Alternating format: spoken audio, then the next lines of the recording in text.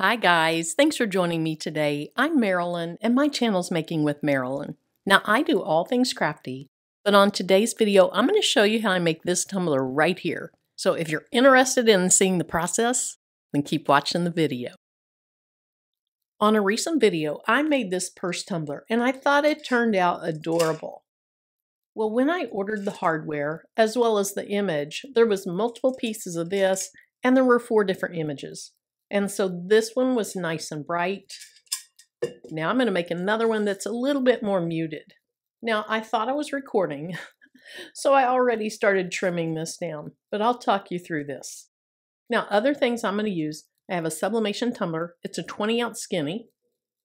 I've already cleaned it off with some rubbing alcohol and then dried it with a paper towel. I have this little holder. I made this on a video. I'll put a link to this video in the video description just in case you're interested. Super easy, super cheap to make. Then I'll use some heat tape to wrap my design around my tumbler. Then I have a straight edge and a rotary tool to cut this down. And then my hardware is this chain and then a couple of pieces that go on the side. More about this when it's time to put this on. Now to put it on, I'm going to use E6000 and then to get the E6000 on this little coffee stir stick. Now various people use different things than this, so you don't have to use E6000. Watch other videos, see what other people use. I just like this.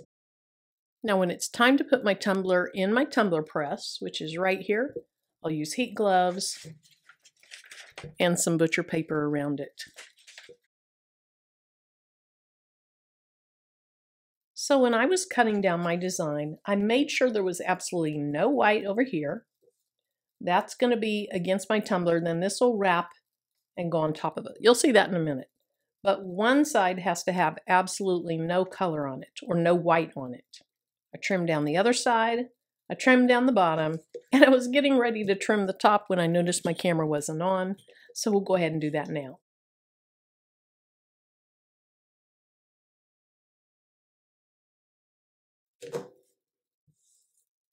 Now you can also use like the guillotine cutters or the slide cutters. My slide cutter tends to pull on the paper and then causes it to kind of ruffle up. I probably need a new blade, so that's why I use the rotary tool.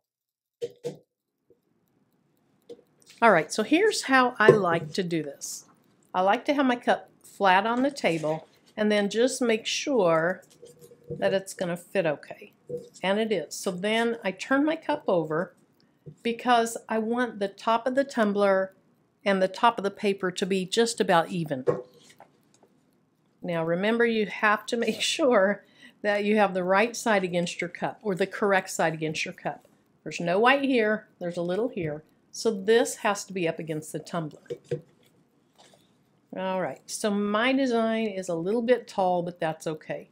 I am going to cut off just a little bit really quickly. I don't like to have a lot of excess paper above or below my tumbler.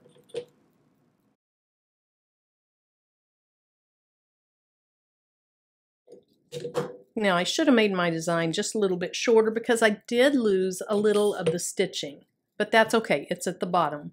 I wouldn't want to trim it off the top I think the bottom is less important, so that's why I cut it off the bottom. All right, so we'll start this over. That is a much better fit.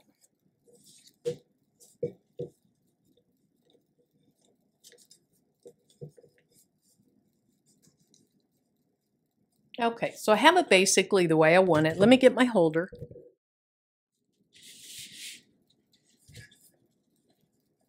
And the first thing I'm going to do is just put one piece of tape down.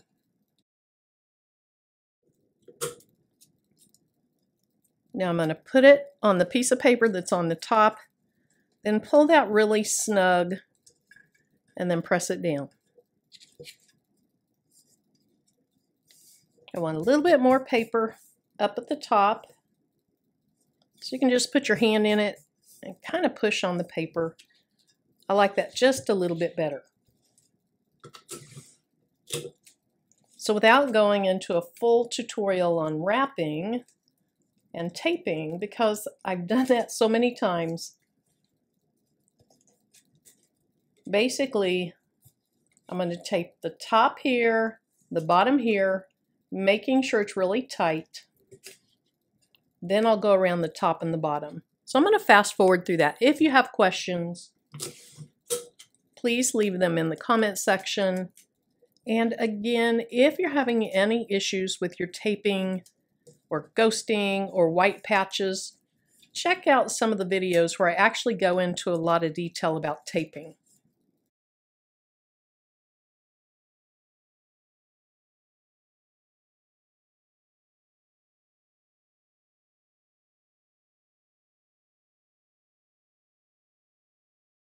Now this is ready. I'm going to go ahead and preheat my tumbler press, get the camera angle turned around. Then we're going to go ahead and get this sublimated. Now my press is preheated. It's ready to go. Make sure you pay attention to what your instructions say so that you preheat it up correctly, or if you do it otherwise, you at least know you're taking the risk that something might happen. All right, so here's my tumbler, and I have a piece of butcher paper that I cradle it in. So I'll just put my tumbler down in here and then I want to make sure that my seam is either at the front or the back because I feel like that's where you get the best pressure. So for two reasons, you want the seam to have good pressure and the main design is opposite of the seam and you want that to have really good pressure. All right, the last thing I used this for was a sippy cup and I didn't get it set to the right pressure. There we go.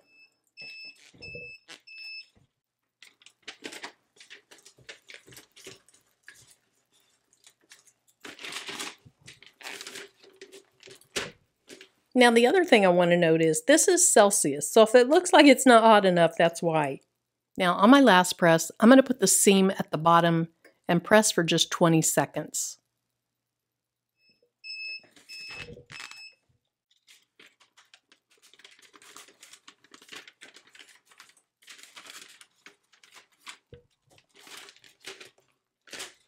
Now I'm not going to reset the timer. I'm just going to watch and go ahead and open this at 30.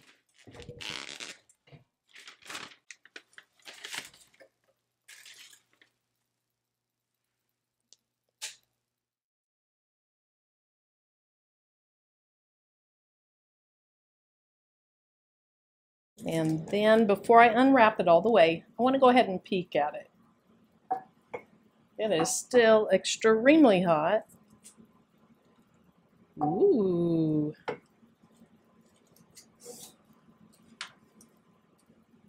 Oh, that is beautiful. That is so pretty. Now I see something I did wrong. I didn't get it quite all the way to the top. Or I didn't have it taped perfectly. But that's okay. That is pretty close.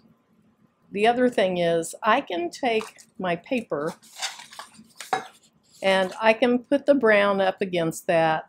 I can either just barely put it in my heat press you know, just this end. Or in this case, it's so small, I'll probably just use my Cricut Easy Press Mini. Matter of fact, you'll probably see it and go, oh my goodness, just leave it. It's okay. But that's just, that's just me. That's what I do. But isn't that pretty?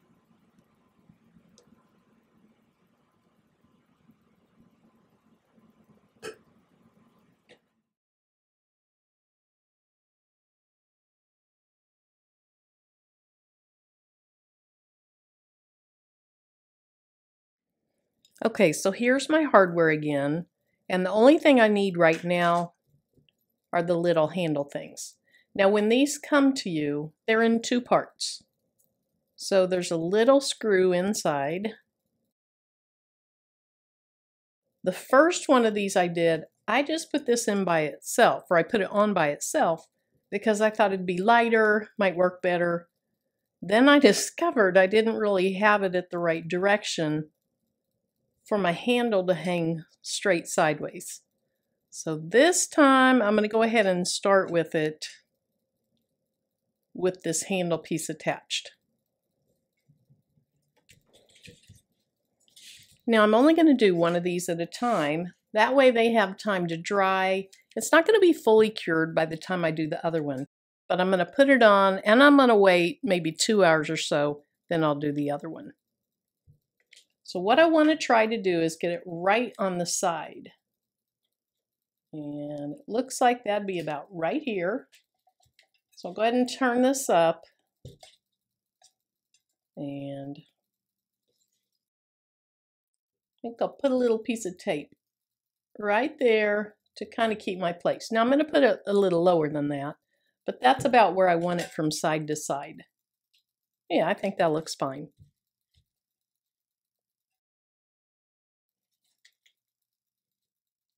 So I have my E6000. And I don't want to hold it over the cup in case some drips. So I'm just going to put a little bit out on my coffee cup stir stick.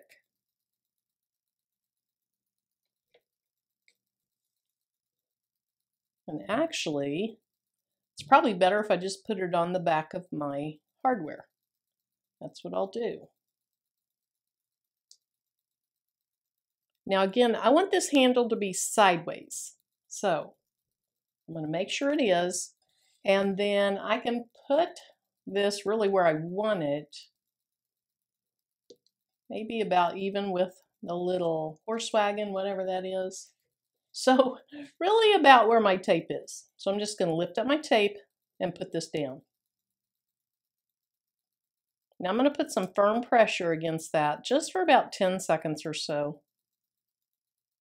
And then after I do that, I need to look at it, make sure it's straight.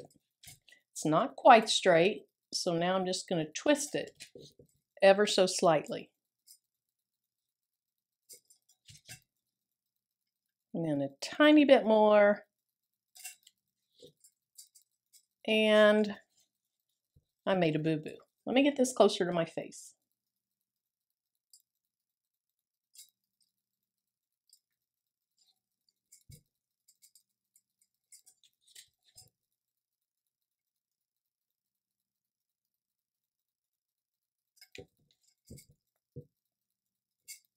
Okay, I think that looks pretty good.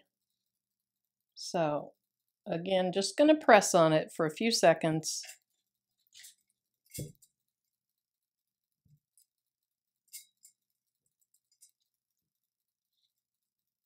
Make sure it hangs pretty well, and it does. So now I'm going to leave that there for, like I said, maybe two hours. Then I'll do the other side. Okay, I've gone ahead and I've put both pieces of my hardware on. And so the last thing I need to do is just attach my chain. The chains that I ordered, and I got these from Amazon, so check out the link. You just push on this metal piece and then slip it on your hardware.